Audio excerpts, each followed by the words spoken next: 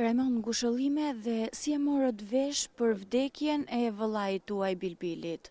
Ka shku nusja e Bilbilit, kunata ime, ka shku për t'taku bashkëshortin e saj, tek institucioni, burgu 313, dhe momentin që ka paraqit kartën e identitetit për t'u regjistru për takim, I kanë komuniku që nuk jeton sepse ka bo një akt vetëvrasje në mes pas pesnate, do të thoja.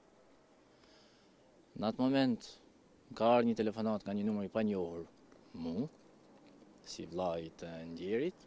Aty më ka dalë kunata duke qajt, por nuk ka qenë gjendje as me m'u prezantu. Kisha vështirësi nga e qajtura e saj që ta dalloja se kush është, vetëm thoshte hajde tek policia.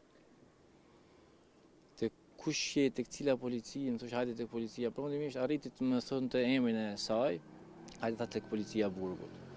Në ato momente më ka dalë, po tek ai numër telefoni, më ka dalë një femër, ishte police e atij institucioni, Edhe më tha hajde me motrën, sepse kishte thonë është vllai për mu. Në fakt ishte vllai i të ndjerit, nejse. Çfarë mund ta ketë shty Bilbilin vëllanë tuaj të shkojë drejt një akti të tillë dhe kaq të rëndë?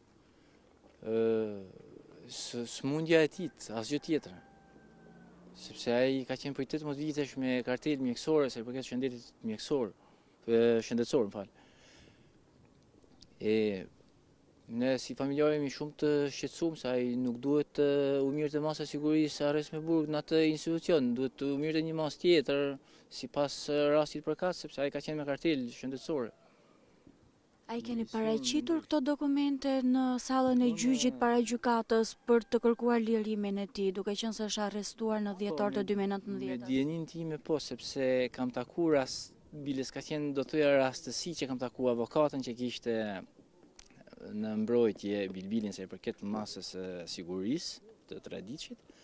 Edhe më tha për Bilbilin po interesohem, i thash Bilbili i thash është rast që ka probleme sa i përket anës mendore sepse trajtohet me mjekime. Edhe i kemi edhe dokumentat, tha, i kam unë te çanta, m'i ka dhënë Mirjeta, Mirjeta është nusja e tij, vllait. Edhe ta presim tha tashti të bëjë vlerësimin gjykata. Përfundimisht atë e la në arrest me burg. Sa e rëndë është ky rast për drejtësinë shqiptare? Shumë i rëndë. Ai babai i katër fëmijëve, është djalë i ri, moshatar janë Si pa martu ba kome, domethënë, një pjesë e mjë aty, 22 vjeqë. Kanë reaguar dhe shumë institucione që janë pjesë e gjyqtarëve për të verifikuar këtë rast. Uroj të verifikohet, unë do të kërkoj që ashtu si vllai i tij, si familjar, që nga momenti i arrestimit, deri në momentin që i ka dhanë fund jetës tij, të ndiqet të kryhen hetime dhe të dalë e vërteta, të zbardhet ngjarja. Mu s'ma kthen kush vllain, s'm kthehet më vllai, por unë si familjar kam detyrimin që të eci pas rastit.